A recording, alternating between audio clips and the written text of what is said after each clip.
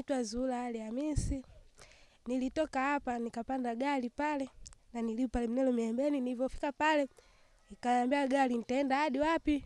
Mbagala. Sasa, sasa nilivyofika pale Mbagala nikashuka. Nilivyoshuka pale mkaka mmoja akatokea akaniambia hivi, mimi nishaongea na dada yako kila kitu dada yako.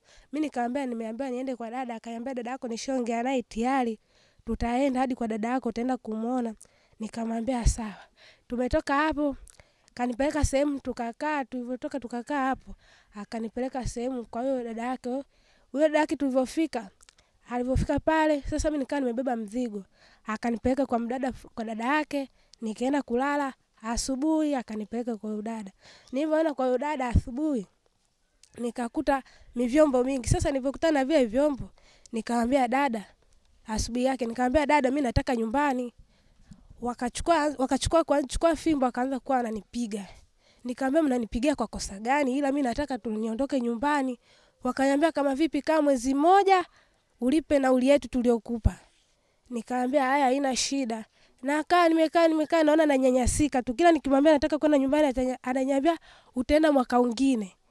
Mi nakaa tunakaa tunanyanyasika. Watoto niliwakuta wadogo, nimewalelea hadi saizi watoto nimewacha wakubwa nimekaa naye nimekaa naye naona bado tena anazidi kunyanyasa, anazidi tu kunyanyasa. Hii miaka yote nimekaa naye yeye ananyanyasa, aninunulii nguo, aninunulii chochote. Mimi kama mimi pale nipo nikifanya kosa anaanza kunigomea, ananipeleka kwa dada yake, anaanza kunipiga.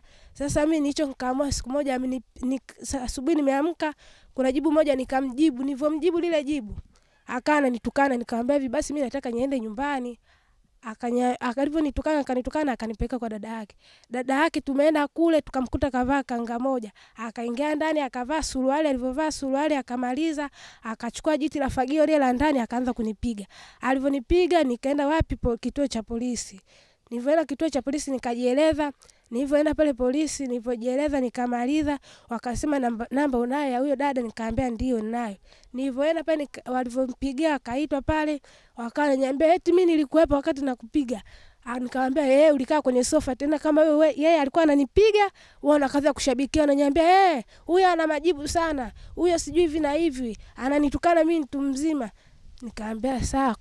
Wakamweka ndani. Walivyomweka ndani baada ya lisali moja walivyomaliza nikamwonesha hadi sehemu iliyovimba, akamwambia mpeleke hospitali uje naye sasa hivi. Akampa kikaratasi cha polisi, tukaenda hadi kule hospitali. Ananiambia eh, eti usimwoneshe hapo palipovimba, wewe mwambie tu najisikia maumivu. Nini, nikaenda kule hospitali, kidole changu hichi hapo cha mwisho hichi walinyaribu, nikaenda pale nikaonesha hadi hapa mpajani hapa, nikaenda nikaonesha, wakanipa dawa nikaa natumia nilivyotumia dawa, tulivyoenda pale, tulivyoenda tena polisi, aliambiwa turudi ile ile siku. Ile siku akagoma, hatujarudi. Tulivyoenda tukaenda asubuhi yake, tulivyoenda hospitali tukarudi, tukapitia pale polisi. Tulivyoenda pale polisi, wakamwambia kwa nini umekosea, tulikwambia ile ile siku mpeleke hospitali, umrudishe hapa. Akamwambia basi kaa ndani kwa dakika moja, wewe nenda nyumbani. Nimeenda nyumbani, nimerudi, nikamwona anarudi. Akamwambia tunaomba kikaratasi chetu cha polisi. Kikaratasi akaenda pale akapeleka pale polisi pale yeye akarudi nyumbani. Akaniambia baada ya mwezi mmoja tuvumilie, tutakupeleka nyumbani. Mimi nikamwambia haya. Sasa naona nazidi kukaa tu, nikifanya kosa lolote, hata nikitoka hapa nikienda kwa wenzangu kule, hata nikiwakiniona tunapiga stori na mtu anaanza kuniambia eh, ushaanza, anaanza kunitukana. Mimi nabaki nalia tu pale mimi mwenyewe, alafu anaanza pale anachukua jukumu, anaanza kunipiga mi yote nimevumilia, ila baada yake nikashindwa nik, nik uvumilivu, uvumilivu ukanishindwa. Nikaa mdada mmoja nikawa nimemzoea huyo dada, ndo kipindi hiko wakati tumehamia pale, nivyo yule mdada nilivyomzoea sasa, nikaa nawasiliana naye nikamwambia hivi, mimi imenishinda imani, itabidi leo nitoroke, nitakuja huko kwako. Yule dada akaniambia haina shida, we njoo, nitakulea kama ndugu yangu, tumetoka tumbo moja. Nikaambia sawa ile mida ya saa mbili ile nimewapikia wanaye, nimewapa ugali, nimemaliza. Sasa tukaa tumeazima fagio kwa jirani, tulivyoazima fagio kwa jirani, wakati naurudisha tu mimi nikapata mpenye nikaondoka.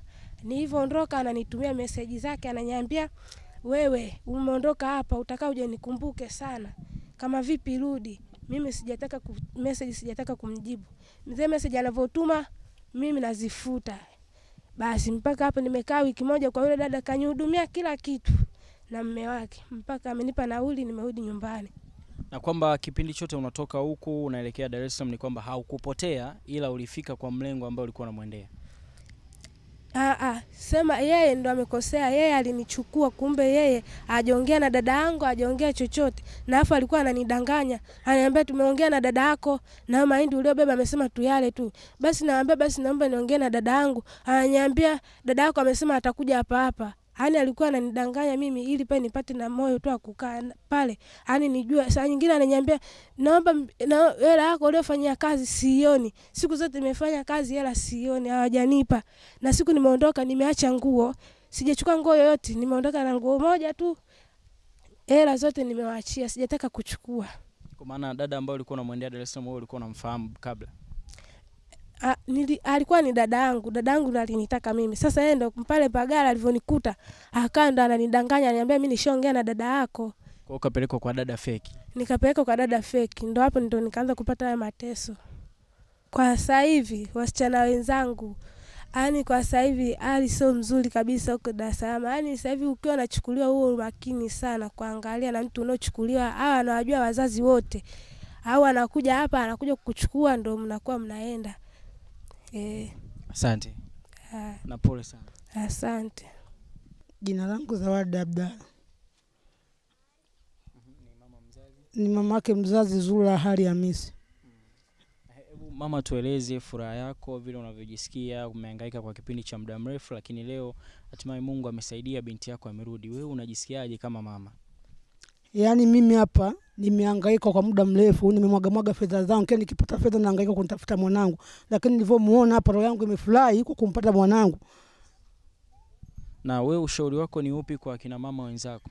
Ushauri wangu kwa kina mama wenzangu, yani aliyokuwa na mtoto wa kike kama mimi hapa, kwa kumtoa bila kusema nimempa mwenyewe dada yake mkononi, kwa wazazi wenzangu tusikubali mambo kama hayo.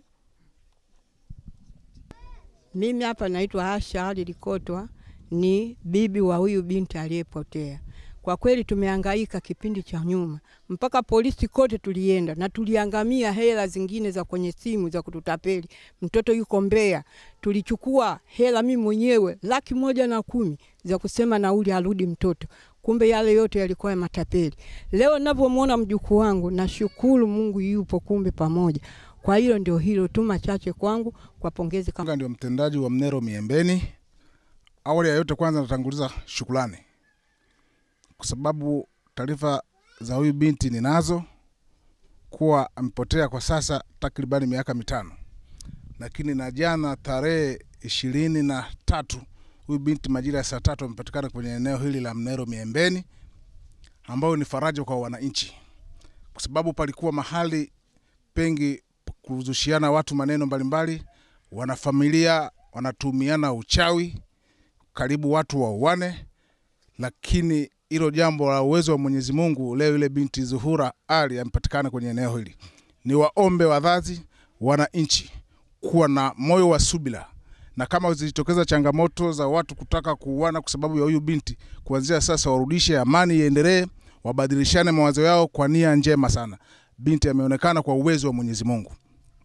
Kwa hiyo nawaomba sana wananchi wa Mnero Miembeni, kwa namna mlivyo na hamani mlionayo, kwa kweli kuanzia jana nimeshaona jitihada zenu, na wote mlikuja kwa niaba ya kumwona binti ambaye ametoweka kwa muda mrefu, na tayari mlishazungumza, huyu binti ametoweka katika dunia yetu. Kwa vile kwa hali hii nahitaji amani iendelee kwa ile familia, amani iendelee kwa wanakijiji.